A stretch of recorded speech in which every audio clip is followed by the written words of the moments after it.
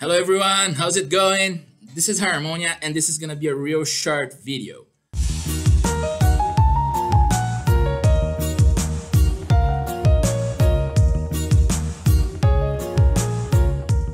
We all know that the Earth necklace is one of the best accessories in the game, if not the best one, right?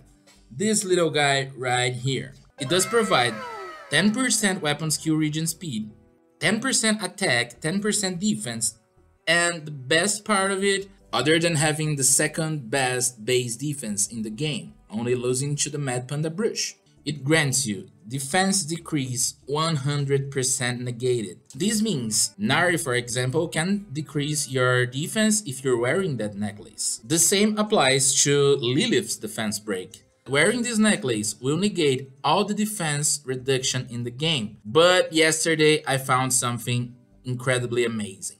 As you can see in this clip, can you see that my Sohee is not getting the dark type resistance reduction from Beth? Oh yeah. It not only negates your defense down, but it negates elemental defense down.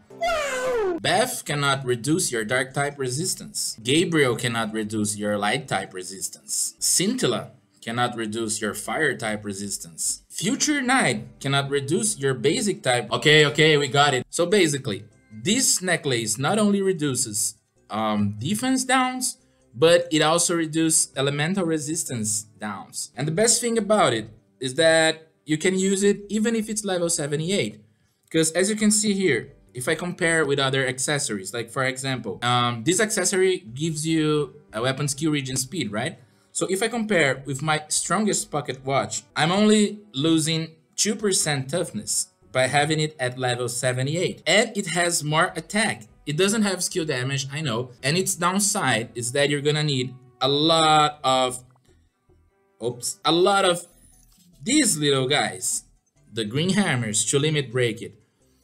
But the thing is, you can use it at level 78. So I might be going for a full limit break on this little dude, but I'm not sure yet. But what I wanted to share with you is that it negates everything. Everything.